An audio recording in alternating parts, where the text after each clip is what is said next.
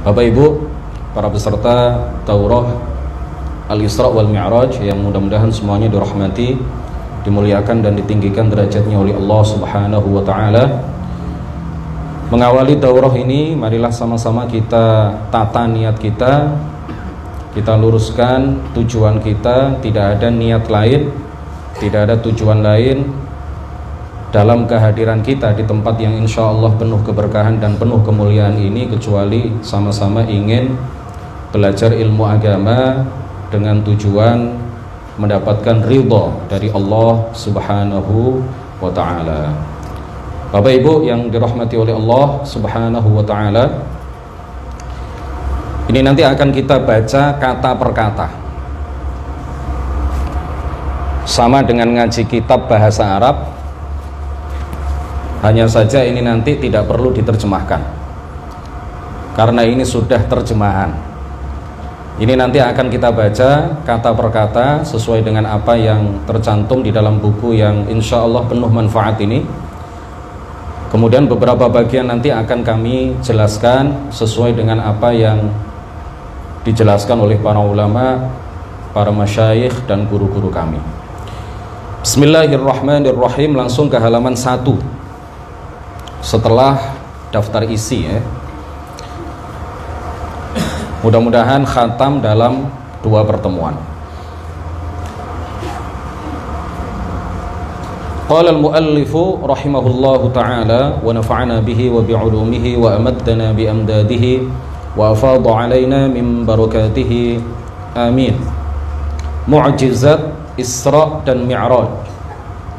adalah Rasulullah Sallallahu Alaihi Wasallam. Seorang yang penyabar bersama para sahabatnya konsisten berpegang teguh dengan agama Allah untuk sekian tahun lamanya. Meski mengalami pendustaan dan gangguan orang-orang musyrikin terhadapnya. Kemudian pamannya Abu Talib yang senantiasa membelanya meninggal. Istrinya Khadijah yang selalu membantu dan mendampingi dengan setia pun meninggal di tahun yang sama. Maka pada tahun itu disebut sebagai Amul Huzni, tahun kesedihan. Karena dua orang yang selalu membela dan mendukung dakwah beliau meninggal di tahun yang sama.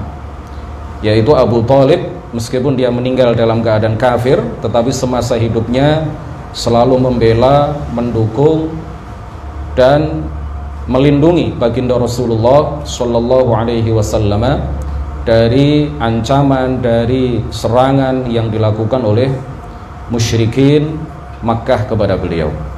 Begitu juga istri setia beliau, istri pertama beliau yang selalu mendukung dan membela dakwah suaminya baginda Rasulullah Shallallahu Alaihi Wasallam. Keduanya meninggal di tahun yang sama. Maka tahun itu disebut sebagai Amul Huzni, tahun kesedihan. Maka mukjizat Isra dan Mi'raj menjadi penghibur hati Nabi selepas kesedihan dan kesulitan yang menerpanya. Sekaligus sebagai persiapan bagi hijrah nabawiyah yang mulia yang menjadi titik tolak penyebaran Islam ke seluruh pelosok dan penjuru oleh segenap kaum muslimin yang menyebarkan Islam dan mengangkat bendera la ilaha illallah Muhammadur Rasulullah tidak ada Tuhan yang berhak, tidak ada sesuatu pun yang berhak disembah kecuali Allah dan Muhammad adalah utusan Allah. Allah Subhanahu wa taala berfirman Subhanalladzi asra bi'abdihi lailan minal masjidil haram ila al masjidil aqsa alladzi barakna hawlahu linuriyahu min ayatina innahu huwas samiul basir Suratul Isra ayat 1 Maha suci Allah yang telah memperjalankan hambanya pada suatu malam dari Masjid Haram dari Al-Masjid Al-Haram ke Al-Masjid Al-Aqsa. Kata Allah yang telah kami berkahi sekelilingnya agar kami perlihatkan kepadanya sebagian dari tanda-tanda kekuasaan kami. Sesungguhnya dia adalah maha mendengar lagi maha melihat. Diriwayatkan bahwa ketika Nabi Muhammad telah sampai pada derajat yang tinggi dan tingkatan yang luhur dalam peristiwa Mi'raj Allah Subhanahu wa taala mewahyukan kepadanya yang maknanya wahai Muhammad dengan apa aku memuliakanmu? Nabi menjawab dengan penisbatan diriku kepadamu dengan sifat penghambaan. Kemudian turun turunlah firman Allah, Subhanalladzi asra bi'abdihi. Maha suci Allah yang telah memperjalankan hambanya. Kita semuanya adalah hamba hamba-hamba Allah. Tetapi di dalam ayat ini Allah mengkhususkan menyebut Muhammad sebagai hambanya. Ini adalah sebagai bentuk pemuliaan dan pengagungan derajat Allah Subhanahu wa taala kepada baginda Rasulullah sallallahu alaihi wasallam. Jadi penyebutan Rasulullah dengan dinisbatkan kepada Allah dalam abadihi hambanya untuk menampakkan puncak pemuliaan terhadap Rasulullah. Allah mengkhususkannya dengan sifat tersebut dalam ayat ini tanpa hal itu diberikan kepada selain Rasulullah. Padahal hamba-hamba Allah itu banyak Mengapa beliau secara khusus disebutkan di dalam ayat ini sebagai hambanya? Ini tiada lain karena apa? Karena pemuliaan dan pengagungan Allah kepada beliau. Tafsir ayat Tafsir ayat yang pertama dari surat Al-Isra Kata As-Sabah Dalam bahasa maknanya At-Taba'ud. At-Taba'ud Yang artinya jauh Atau suci ya, At-Taba'ud. Artinya adalah at-tanazzuh. Suci jauh suci. Jadi makna subhanallah subhan itu kan berasal dari kata as-sabah ya. Subhanallah subhan itu artinya dari kata as-sabah yang artinya adalah jauh atau suci. Allah maha suci yakni dari dari apa? Dari segala sesuatu yang tidak layak baginya. Sedangkan usabbihullaha maknanya aku menyucikan Allah dari hal yang tidak layak baginya. Apa saja yang tidak layak bagi Allah yaitu segala keserupaan dengan makhluk dan sifat-sifat makhluk. Makhluk ada kalanya benda latif makhluk itu ada kalanya benda latif dan ada kalanya benda kathif benda latif itu artinya benda yang tidak bisa dipegang tidak bisa disentuh. Seperti apa? Seperti cahaya, udara, kegelapan dan lain sebagainya. Dan ada kalanya benda benda kathif, benda yang bisa disentuh, benda yang bisa dipegang. Seperti apa? Seperti manusia, pohon, bebatuan dan lain sebagainya. Allah sebagai pencipta benda latif, maka ia tidak sama dengan benda latif. Allah sebagai pencipta benda kathif maka ia tidak serupa dengan benda kathif tidak boleh dikatakan Allah itu tidak tidak bisa disentuh oleh tangan karena apabila dikatakan Allah tidak bisa dipegang oleh tangan tidak bisa disentuh dengan tangan itu artinya menyamakan Allah dengan udara menyamakan Allah dengan cahaya menyamakan Allah dengan kegelapan juga tidak boleh dikatakan Allah bisa dipegang oleh tangan karena pernyataan Allah bisa bisa dipegang oleh tangan, bisa disentuh oleh tangan, itu artinya menyamakan Allah dengan benda-benda kathif seperti manusia, binatang, bumi, bebatuan, dedaunan, pepohonan dan lain sebagainya. Jadi Allah tidak sama dengan ini dan Allah tidak sama dengan itu.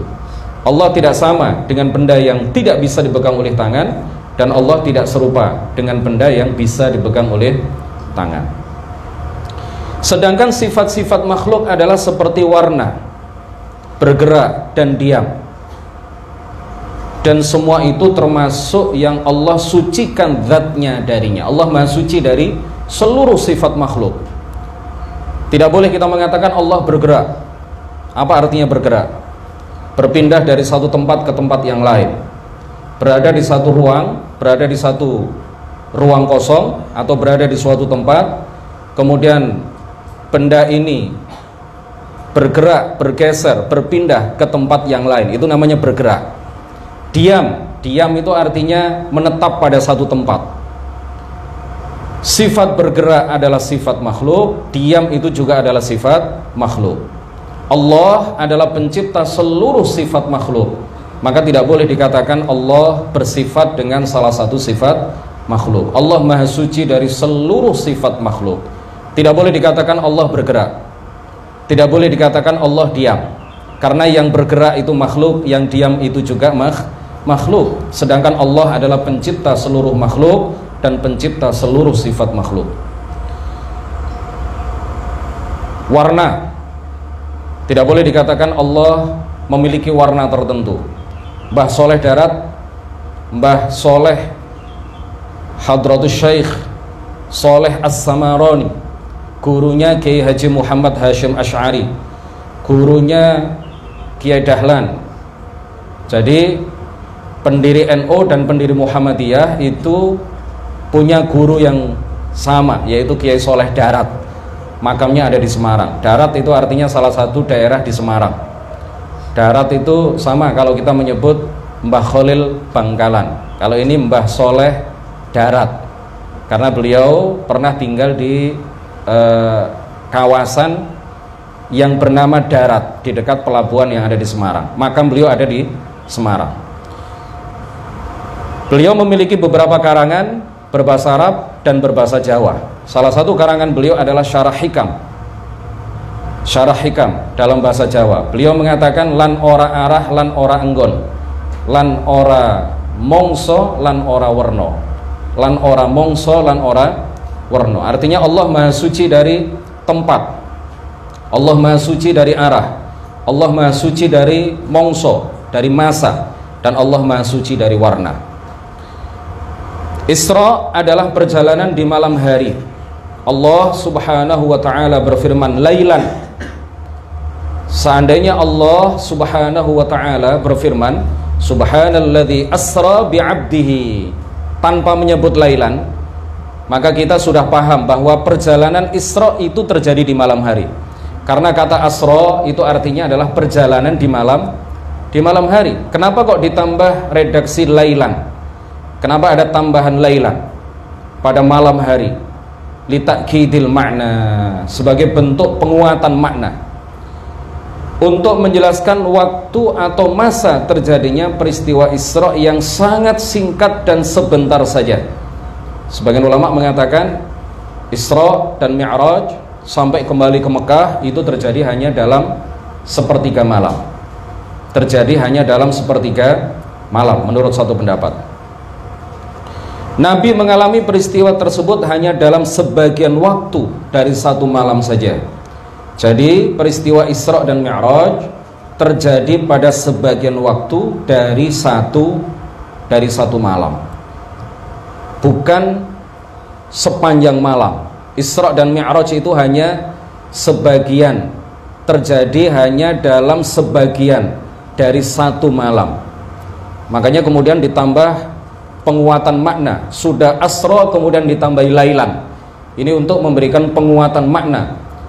Yang pertama Isra itu betul-betul terjadi. Dan yang kedua Isra itu hanya terjadi bukan sepanjang malam tapi hanya di sebagian waktu di satu malam. Menurut sebagian ulama sepertiga malam. Al-Masjidul Haram dinamakan demikian karena kemuliaannya atas semua masjid lainnya Al-Masjidul Haram adalah masjid yang paling utama Al-Masjidul Haram adalah masjid yang paling mulia dibandingkan dengan seluruh masjid yang ada di dunia Adapun tanah yang paling mulia, tanah yang paling utama adalah tanah yang yadummu jasadar Rasul sallallahu alaihi wasallam. Tanah yang melingkupi jasad mulia baginda Rasulullah sallallahu alaihi wasallam. Masjid yang paling mulia Masjidil Haram. Tanah yang paling mulia, bagian bumi yang paling mulia. Bahkan lebih mulia daripada Arash lebih mulia daripada arash adalah bagian bumi yang melingkupi yang melingkupi jasad mulia baginda Rasulullah sallallahu alaihi wasallam. Karena Rasulullah adalah makhluk yang paling mulia.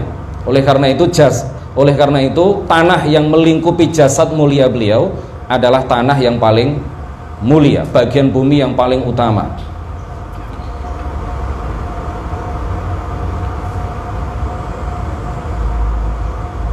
dengan hukum-hukum khusus yang berlaku baginya. Jadi Al-Masjidul Haram ini dinamakan haram Kenapa? Karena ada hukum-hukum khusus yang berlaku baginya. Ya, misalkan tidak boleh berburu binatang darat yang liar, bari wahsy ya, di tanah haram. Tidak boleh berburu, tidak boleh mengganggu binatang-binatang yang ada di sana. Jadi tanah haram itu bukan hanya di masjidnya saja ya, tanah yang mulia yang memiliki hukum-hukum khusus itu bukan hanya di Al-Masjidil Haram. Tetapi ada bagian panjenengan Bapak Ibu yang sudah pernah ke Mekah itu ada batas tanah haram ya, tidak hanya di masjid tapi lebih luas daripada masjid. Nah, hukum-hukum khusus itu tidak berlaku hanya di masjidnya, tetapi di seluruh tanah haram. Di seluruh tanah tanah haram. Rasulullah Shallallahu Alaihi Wasallam mengatakan, Inna Ibrahim harramal harrama Makkah wa ana harramtul Madinah.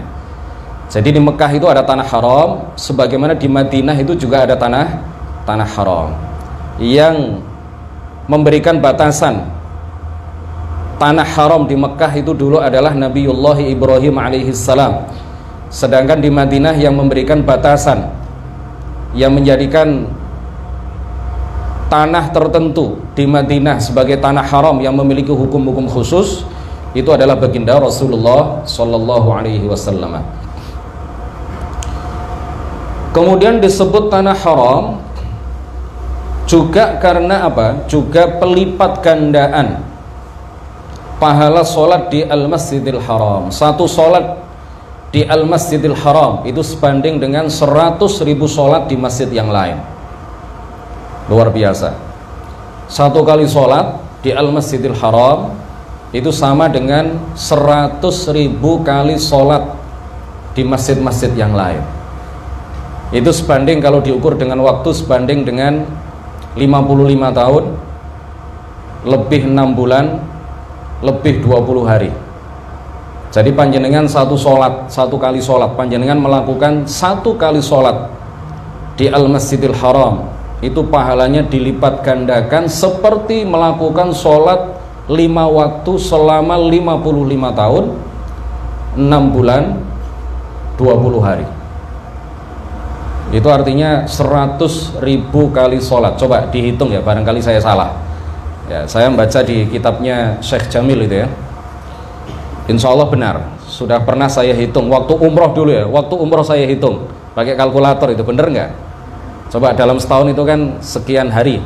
Nah, coba dihitung. Itu ketemunya berapa? 100 ribu kali sholat itu sama dengan kalau satu hari lima kali sholat 100 ribu kali sholat itu sama dengan melakukan sholat lima waktu selama 55 tahun lebih enam bulan lebih 20 hari. Tapi bukan berarti begini Bapak Ibu. Nah, sudahlah saya sudah sholat selama empat hari sewaktu saya umroh di Mekah. Berarti setelah saya pulang ke Indonesia pahala saya sudah banyak saya tidak perlu sholat lagi. Saya tidak wajib lagi melakukan sholat karena sholat saya di Mekah itu satu kali sholat itu sebanding dengan 55 tahun. Berarti kalau saya empat hari itu sudah berapa tahun? Itu sama dengan sholat berapa berapa tahun? Itu berarti sudah melebihi usia saya. Nggak boleh. Karena meskipun pahalanya sebanding dengan 55 tahun lebih enam bulan lebih 20 hari tetapi itu tidak menggugurkan kewajiban sholat-sholat berikutnya. Paham ya?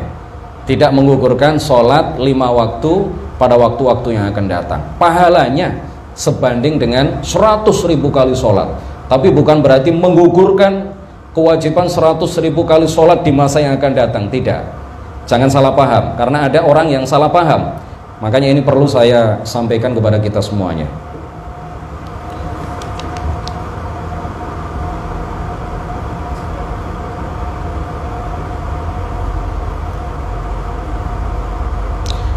Al-Masjidul Aqsa, Al-Aqsa itu artinya yang terjauh. Al-Aqsa masjid yang terjauh. Masjid yang paling jauh. Kenapa dinamakan seperti itu? Karena letaknya yang jauh dari Al-Masjidil Haram. Al-Masjidil Haram dan Al-Masjid Al-Aqsa keduanya dibangun oleh Nabi Adam alaihi salam. Keduanya dibangun oleh Nabi Adam alaihi salam. Jadi Nabi Ibrahim itu hanya merenovasi Nabi Ismail dan Nabi Ibrahim itu hanya merenovasi. Yang membangun kali pertama, yang membangun pertama kali Al-Masjidul Haram adalah Sayyiduna Adam alaihi salam. Ia membangun Ka'bah terlebih dahulu. Kemudian 40 tahun setelahnya membangun Al-Masjid Al-Aqsa. Allah Subhanahu wa taala menamakan Al-Masjidil Aqsa dengan masjid ini menunjukkan bahwa bangunan itu dibuat seperti halnya seluruh tempat-tempat ibadah kaum muslimin pengikut para nabi yaitu untuk menyembah Allah yang Maha Esa dengan melakukan amal ibadah berupa solat. Karena dalam solat seorang muslim bersujud kepada Allah solat dan sujud itu adalah syariat seluruh nabi. Sujud dan solat itu adalah serta wudhu ya. Serta wudhu wudhu solat yang di dalamnya ada sujud itu adalah syariat seluruh seluruh nabi. Bukan hanya syariat Nabi Muhammad sallallahu alaihi wasallam. Pada masa Nabi Adam alaihi salam syariat pada waktu itu solat hanya satu kali dalam sehari semalam. Pada masa Nabi Isa alaihi salam misalkan solat itu syariatnya hanya dua kali dalam sehari semalam. Sebagian Nabi di masa-masa tertentu diwajibkan bagi mereka bagi nabi itu dan bagi umatnya 50 waktu sholat dalam sehari semalam. Ada.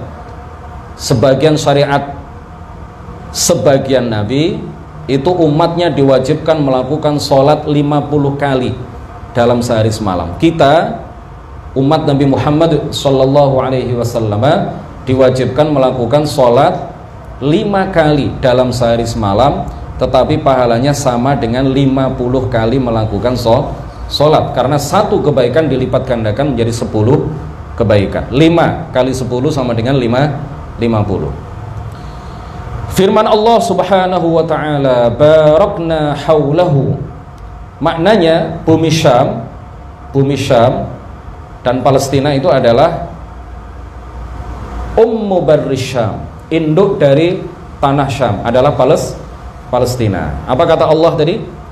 Maha suci Allah yang telah memperjalankan hambanya pada suatu malam dari dari Masjidil Haram ke Masjidil Aqsa ke Al Masjidil Aqsa yang telah kami berkahi sekelilingnya. Sekeliling Al Masjidil Aqsa itu adalah Pales, Palestina dan tanah Syam secara umum. Sekeliling Al Masjidil Aqsa itu adalah Baitul Maqdis. Baitul Maqdis itu Al-Quds sama ya Yerusalem. Dalam dalam uh, apa media massa disebut sebagai kota Yerusalem. Itu sama dengan kita menyebutnya Baitul Maqdis atau kota Al-Quds. Sama ya Al-Quds Baitul Maqdis Yerusalem itu satu satu kota ya tiga penyebutan untuk menamakan satu kota yang di dalamnya ada Al-Masjid Al-Aqsa. Al-Masjidul Aqsa itu bukan yang kubahnya kuning ya. Al-Masjidul Aqsa itu bukan yang kubahnya kuning, ada di sebelahnya. Kubahnya hitam. Kubahnya berwarna hitam. Coba dicek nanti di di gambar-gambar itu ya. Yang kubahnya kuning itu bukan Al-Masjid Al-Aqsa. Al-Masjidul Aqsa itu yang di sampingnya ya. Yang kubahnya berwarna hitam. Karena banyak orang yang salah paham. Jadi tanah Syam, tanah Syam adalah tanah yang diberkahi oleh Allah.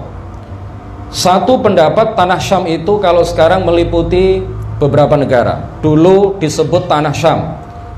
Dulu disebut tanah Syam. Setelah penjajahan Prancis, setelah penjajahan Prancis dan penjajah yang lain, kemudian tanah Syam yang dulu disebut sebagai tanah Syam, wongkul apa wongkul itu ya. Jadi satu, jadi satu kawasan. Itu sekarang terpecah menjadi beberapa negara. Palestina, ibu kota Syam itu adalah Pales, induk dari tanah Syam adalah Pales, Palestina. Palestina sekarang meliputi empat negara, ya. Palestina secara keseluruhan, Syria secara keseluruhan, Yordania secara keseluruhan, Lebanon secara keseluruhan, dan beberapa kawasan, beberapa wilayah di negara Mesir dan beberapa wilayah di negara Irak. Itu dulu satu kawasan, bahkan dalam masa pemerintahan Sayyidina Ali itu satu provinsi. Dulu satu provinsi sekarang menjadi empat negara empat negara lebih ya. Sekarang terpecah menjadi empat negara lebih dulu satu provinsi. Nah tanah Syam ini adalah tanah yang diberkahi. Berdasarkan firman Allah subhanahu wa ta'ala. Ini bukan pendapat ulama A, ulama B. Tanah Syam adalah tanah yang penuh barokah binassil Quran wal hadis nanti hadisnya akan kita baca jadi dengan dasar Al-Quran tanah Syam adalah tanah yang penuh barokah. Satu pendapat mengatakan nah berkahnya ini dalam hal apa? Ada perbedaan pendapat di kalangan para ulama. Seluruh ulama mengatakan bahwa tanah Syam adalah tanah yang diberkahi. Berkahnya itu dalam hal apa?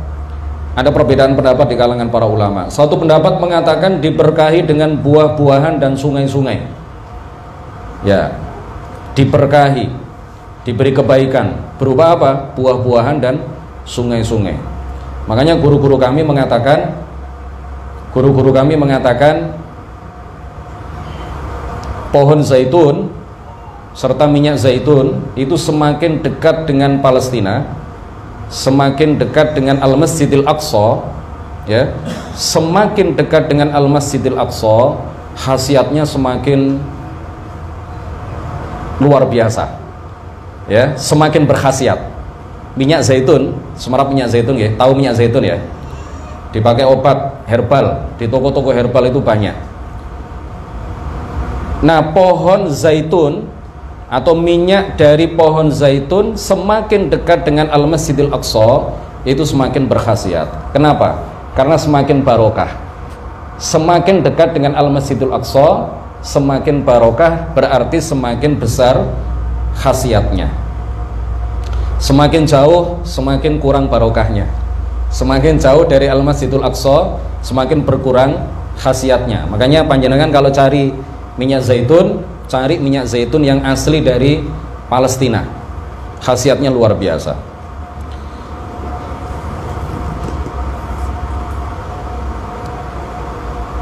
Satu pendapat mengatakan diberkahi dengan buah-buahan dan sungai-sungai. Pendapat lain mengatakan diberkahi karena menjadi tempat menetap para nabi dan turunnya para malaikat. Aktsarul wahyi. Sebagian besar wahyu itu diturunkan di Palestina, di, di Syam ya, di tanah Syam, terutama di Palestina. Sebagian besar wahyu itu diturunkan di di tanah Syam, terutama di Pales di Palestina banyak para nabi yang diutus di sana dan juga banyak para nabi yang dimakamkan di sana. Mudah-mudahan Allah Subhanahu wa taala segera memerdekakan Palestina dari jajahan orang-orang Yahudi. Amin ya rabbal alamin. Mudah-mudahan suatu saat nanti kita bisa ziarah ke sana ya. Bisa berkunjung ke sana. Tanah yang diberkahi oleh Allah Subhanahu wa taala. Oleh karenanya, oleh karenanya Nabi Ibrahim berkata, "Inni dzahibun ila rabbi sayahdin." Yakni ke tempat yang Allah perintahkan agar aku pergi ke sana, yaitu ke daratan Syam. Ini sesungguhnya aku, kata Nabi Ibrahim. Dzahibun pergi. Beliau waktu itu ada di Irak. Beliau waktu itu ada di di Irak. Kemudian diperintahkan Allah untuk pergi ke Palestina apa yang beliau katakan inni dzahibun ila rabbi. Sesungguhnya aku pergi ke tempat yang Allah memerintahkan aku untuk pergi ke sana. Daerah mana? Yaitu ke daratan Syam, Barus Syam. Hal ini dikarenakan Nabi Ibrahim diberitahu oleh Allah bahwa Syam adalah tempat turunnya rahmat yang banyak, tempat yang barokah. disebabkan kebanyakan wahyu turun di sana dan kebanyakan para nabi hidup di sana. Diutus di sana. Meninggal di sana. Sebagian besar nabi itu ada di sana di tanah Syam. Di sebuah hadis sahih dalam sahih Al-Bukhari. Hadisnya sahih diriwayatkan oleh Imam Al-Bukhari. Rasulullah sallallahu alaihi wasallam bersabda Allahumma barik lana fi syamina wa yamanina. Ya Allah berkailah bagi kami tanah Syam dan tanah Yaman. Tanah Yaman juga adalah tanah yang didoakan berkah oleh Rasulullah sallallahu alaihi wasallam. Qalu sebagian para sahabat bertanya Wa fi najdina ya Rasulullah? Dan apakah engkau juga mendoakan berkah untuk tanah Najd kami ya Rasulullah Qala Rasulullah kemudian menjawab hunaka zalazil wal fitan. Di sana akan terjadi gempa dan fitnah. Hunaka yatlu'u qarnu syaitan. Di sana akan muncul tanduk syaitan gembong fitnah fitnah gembong. Gembong apa gembong? Gembong eh? Gembong gembong. Ya tanduknya syaitan Syekh Muhammad Zaini Dahlan mufti Syafi'iyah fi Makkah al-Mukarramah. Mufti para ulama madhab Syafi'i di Mekah Ahmad Zain Ahmad ya bukan Muhammad. Syekh Ahmad Zaini Dahlan menafsirkan hadis ini dengan mengatakan apa? Beliau mengatakan yang dimaksud tanduk syaitan adalah pendiri Wahabi yaitu Muhammad bin Abdul Wahhab. Orang-orang Wahabi ketika membaca hadis ini mereka mengatakan yang dimaksud Najd di sini adalah Najd Irak, bukan Najd Hijaz. Dibantah oleh Syekh Ahmad Zaini Dahlan. Dibantah oleh para ulama. Apa yang dikatakan oleh Rasulullah di dalam hadis ini? Wa fi najdina. Wa fi najdina. Wa fi najdina. Najd kami najd kita. Yang dimaksud najd kita itu adalah najd Hijaz. Bukan najd Irak bukan najd Irak bukan najd Irak ya Kenapa? Karena pada waktu itu Rasulullah mensabdakan hadis ini di tanah Hijaz. Ya, mensabdakan hadis ini di tanah di tanah Hijaz yang saat ini dikuasai oleh Saudi Arabia.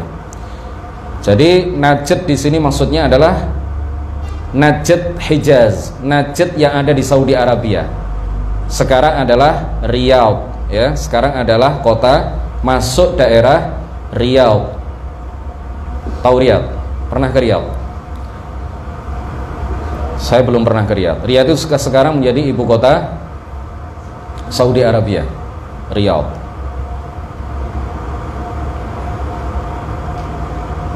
Jadi, ta, jadi tanah Syam adalah tanah yang diberkahi dan Palestina yang merupakan tempat keberadaan Al-Masjidil Aqsa adalah bagian dari tanah tanah Syam.